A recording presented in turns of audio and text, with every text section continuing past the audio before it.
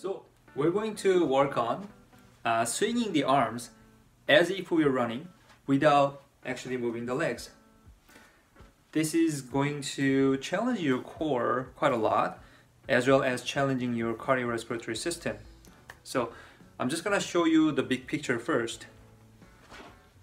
In the front view, so it's gonna look like this. From side view, it's gonna look like this.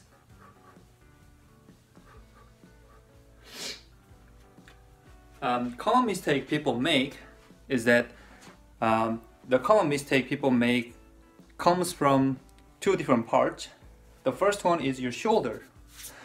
Um, many people focus more on pushing and then not paying attention to um, the back part here. So I'm gonna have you actually focus a little more on pulling, pulling. So as one arm pulls, the other leg just kind of goes up automatically. We're designed to have counterbalance and counter motions. So we'll use that. If you need a little bit more detail, what you want to uh, do is to keep the elbow at 90 degree and then focus more on moving at the shoulder joint rather than your arm like this. Yeah? Okay. And try to keep your shoulders more relaxed. That also helps you to pull a little bit more rather than pushing like this.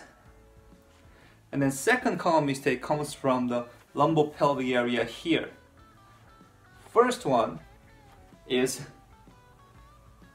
we lose the stability of the sagittal plane motion. Second one, which is quite related to the first problem, is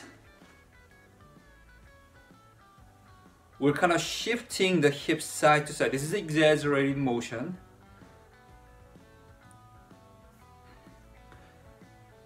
As we swing the arms, a little counter rotation is expected, a little bit of it.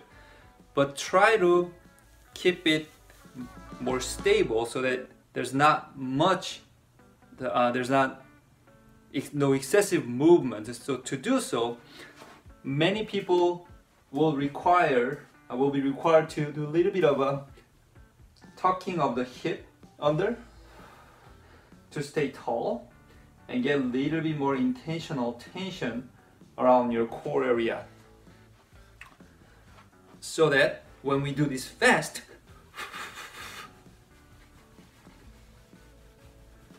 you can see that little bit of counter rotation is happening but not much uh, visibly large motion and especially not much frontal plane motion happening. Yeah. Hope this is, makes sense and how we attack the cardiorespiratory system there are so many different ways of doing it but um, simply we're gonna start with the interval training so when you first started you can do this. By the way you can do this in front of the mirror as well just so that you can check your body alignment. So first we're gonna do this at 30% of your maximum speed to check the body alignment to check the stability.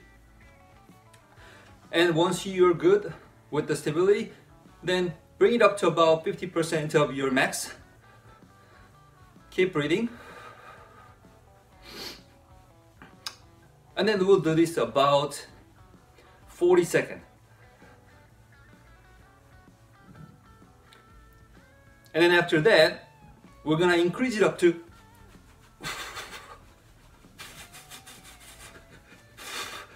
Eighty percent of your max, about 20 seconds, and then go back to 50% of your maximum. About 40 seconds. So something like that. Yeah, and you can see that I'm already kind of huff, um, huffing and puffing a little bit. Yeah, so it will challenge your cardiorespiratory system as well. So have fun.